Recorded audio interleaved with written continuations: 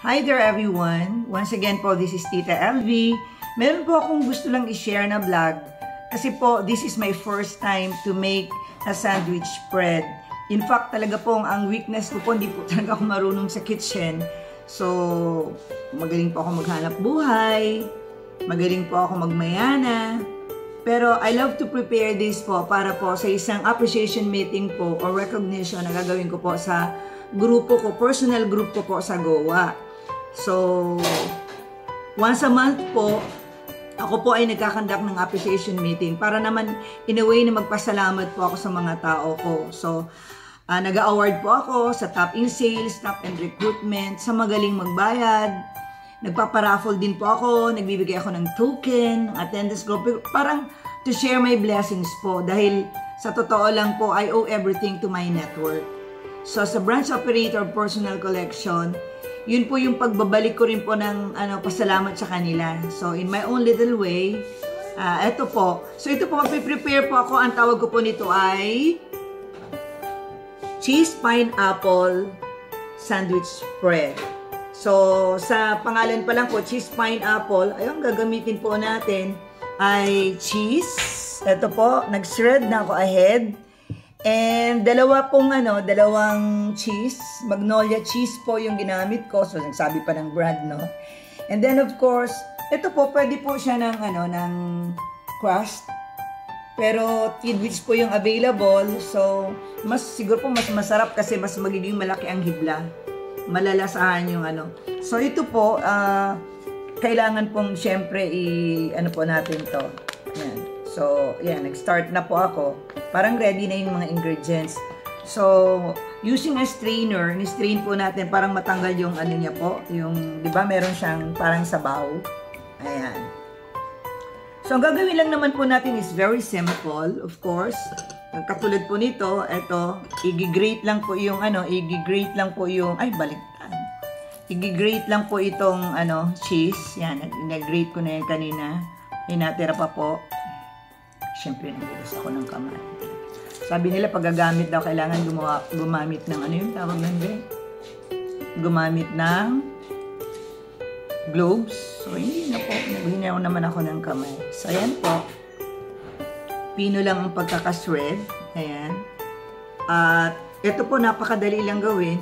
At another ingredient po pala natin, ito po yung atin pong mayonnaise. So, I'll be using 250 po Uh, ml po ang nakalagay dito pero alam ko po 250 grams ang bigat niyan. 500 po yung kalahati lang gagamitin natin. Of course, meron din pong ano, brown sugar to taste. And a pinch probably of yan po, yung salt. Yan. So, titikman ko po yan mamaya. Kailangan maging masarap para hindi naman kahiya-hiya. Ang gumagawa po kasi nito, yung PA ko po sa Goa, naggumagawa po ng ano, ng sandwich spread nito. Paborito po ito ng grupo ko most requested po itong palaman. So, first time ko pong gagawin ito. Since nandito po ako sa Naga, at syempre, miss ko na rin yung mga tao ko. So, magsasama-sama po kami tomorrow sa aking pong appreciation or recognition meeting. Ayan. So, ayan na po. Meron tayo dito spatula. Ayan, parang pang-mix natin or pwede na rin yung aking spoon dyan. So, ayan. So, ito po ay dalawang cheese. I, ano lang po natin siya. Yan. Yan. Parang feeling ko, ano, ganito pala yung mga nag-ano, mga nagluluto. Parang nakaka-excite din talaga. Pero hindi po ako professional at talagang hindi ko to linya. At ito po, iubos ko na po yung tatlo tidbits. Ayan. Lalagyan ko na rin po ng kalahati nitong ano. Parang ito po, parang maging ano lang siya madulas pag-apply. So, hindi naman po siguro kailangan, i-check ko pa rin po kung kakailanganin natin ng kalahati o dalawang kutsara na, no? So, tatlo. Try lang po muna natin. Yan. Kasabay niyo po ako pag-try out. Pag tikim lang po, hindi niyo matitikman. So, ito po. Siyempre, lagyan po natin ng, at the moment po, lagyan muna natin ng ano, ng 1 teaspoon lang na brown sugar. Ito. Titingnan natin mamaya kung tama siya o kulang. So, haluin po natin. Parang ang sa- nasasarapan. na- Alam niyo po, mabango. Sarap ng amoy. Nangangamoy yung ano. Pabi, parang nahihirapan ako ng ano, ng spatula. Na siguro pas, spatula ba dapat ginagamit nito? O ano? Oh, spoon na lang. Pwede na. Isel. Pwede bang makahingi dyan ng ano, ng spoon? Saka lumalayo po ako, din nagsasalita ako, mamaya nakasama dyan yung mga ano, saliva. Yan. Yan. Ay, thank you. Yan na lang, Aisel, kasi mas malaki-laki, mas magandang panghalo. Thank you very much. Talaga po ang aking dito mga helper ever ready. O, di ba, dun sa isang vlog ko, napakilala ko na po sa inyo. Ah, nag-video ulit sa akin ngayon si Rachel, o, di ba? Hmm. Talagang very helpful. Tas, ang nakaalalay po, si, ano, si, ano, Aisel. At yung pong bowl doon sa, si Bikoy. Hindi namin po papakita si Bikoy kasi si Bikoy naka-bold. Lalabaran po ng mother. Parang matutulog na. So parang yan, ang lagkit. Parang ang sarap. Tapos, maglalagay po ako ng konting ano, ng feeling ko kailangan po daw to. Konti lang. Ito po, pinch. Pag sabing pinch, di ba parang kurot lang yon. Malalaman po natin mamaya yung mga additional pa na ano natin. Feeling ko masarap. Siguro dadagdagan natin ang mayonnaise, no? Kasi ang feeling ko po parang medyo hindi pa siya mad, ma, ano, madulas, parang slimy. So, ito po yung pangatlo. Pangatlong ah, tablespoon ng mayonnaise. Yan, tanggalin mo din yung mga background dyan.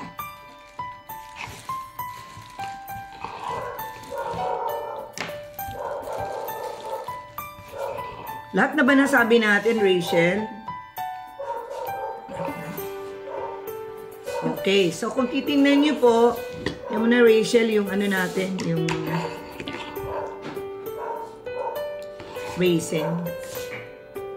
Pwede rin, pero wag na. Hindi na kailangan ng raisin. Ang raisin para yun sa potato salad. Ah, yung ano ko po, yung camera woman ko tinatanong kung maglalagay daw kami ng raisin. Sabi ko, gagawa po kasi kami ng potato salad, kaya binili ko rin yung raisin. Ah, yung potato salad, ano po namin yon For tomorrow's, ah, for next day po, Sunday, para sa family day namin, nagpe-prepare po ako ng potato salad. Basta salad-salad lang po. Parang mix-mix lang, ang galing ko niyan. Wag lang po yung padadaanin sa apoy na magluluto. so, yan. So, patuloy po namin itong, ano, hanggang tapos lalagay na namin siya dito. Niliref ko muna siya. Dadalhin namin bukas sa Goa. Doon na lang po kami bibili ng sliced bread. Tapos, bibili na lang po kami ng soft drinks. Parang something wet and dry. Doon po sa aming fellowship snacks. Pag-bonding namin ng mga tao. After po nung, ano, nung recognition. So, ganun po ang ginagawa namin sa personal collection. Eh, once a month po, yung lahat ng managing director na katulad ko po, ay nagre-recognize po, nagpapasalamat kami sa aming mga dealers, namimigay kami ng mga regalo, ah nagbabanding kami, and then we talk some concerns, ah, yung po mga help-help din namin, at nag, nagsiset up po kami ng target sa mga susunod na buwan. So, eto po, sabi ni Rachel daw, dapat matikman namin. So, papatikman ko to sa kanila, saka sa akin, mamaya. Ito pa, eh, pwede na to, ano, kasi dito lang naman. Ayan. So, ayan. Spread. Later po siguro, pag nagpiprepare, nakita ko kasi sa, sa YouTube din, maglalagay sila ng mga style-style, di ba? So, yan po. ah madali na siyang spread. So, yan. So, siguro hatiin ko na lang ganon. Oh. Titikman ni Rachel. Oh. Aisel, tikman mo. Dito, bigyan mo, tingnan mo si Aisel. Ayan o, oh, tingnan mo, patikimin mo. Ano. Aisel. Oh. Oh, sige. Sabihin mo totoo ha. Kung anong lasa, kung masarap, ano ang kulang. Sarap po. Masarap talaga yung totoo, honest. Sarap talaga po. Ah, masarap talaga. Ako, Oh, so, natikman na po ni Aisel, natikman ni Rachel, natikman ni Bikoy, at ako po talaga natikman din. So, syempre po, I will not lie. It tastes good. Masarap po talaga. Iba po, ang, iba po talaga ang lasa nitong aking ano. Ayan, kunan mo nga ng ano. Yan. Yan po ang Tita Elvis Cheese Pineapple Sandwich. So, yan lang po. Please naman po ha, kahit mga ganito-ganito lang na pag-share, please uh, subscribe, like, and share. And thank you for watching. Gusto ko pong gumamit, uh, at least ngayon lang, ngayon ko lang ito nagawa. At syempre, sa susunod po, yung tomorrow, na pangako namin sa Mayana. Hindi namin natapos ni Rachel kasi we've been very busy ngayong araw na to. So, kami po ay nag-mall, uh, nag-grocery, So, hindi ko hindi po namin naayos yung pag pag ano po pag video ng Mayana po sa front and side. Okay? Doon po sa kabila naman. Kasi tapos na po kami ng back and side din ng back. Okay? So, bye-bye po. Bye-bye. God bless. Don't forget don't forget to like, share and subscribe. Okay, bye-bye po. This is Tita Elvie once again. Bye-bye. God bless. So, pahabulan po kasi syempre, nag-share po kung paano siya gagawin. Magkano ba ang cost nito? So, tatlo po yung nagamit namin na uh, tidbits. Pwede rin sabi kong cross. 14 pesos lang po ang isa niyan. So, 14 times sales is only 42 pesos. At syempre po, yung amin pong cheese, 49 po ang isang ganito po, yung isang cheese, magnolia cheese po, is 49 pesos. That makes it 98 Rito pong aming mayonnaise ay 84 pesos. Ang kalahati po ay 42. More or less, 42 siya. So, bali all and all po, 182 pesos lang sa ganyan karaming, sa ganyan pong karaming sandwich spread. Na feeling ko po kaya niya ang mga limang loaves of bread. So, ang, ang, ang isang loaf po ng bread ay pwedeng sampo. Sampung slice, ay sampung, ano yun, mag, magkatakip. Okay. So, yun lang po. Pabo lang again. Salamat po. Ang pangit naman kasi, di ba, mas maganda sabi, yung iba sinasabi yon Kaya, okay lang po. 182 pesos ang cost nito lahat. Bye-bye again. Bye-bye.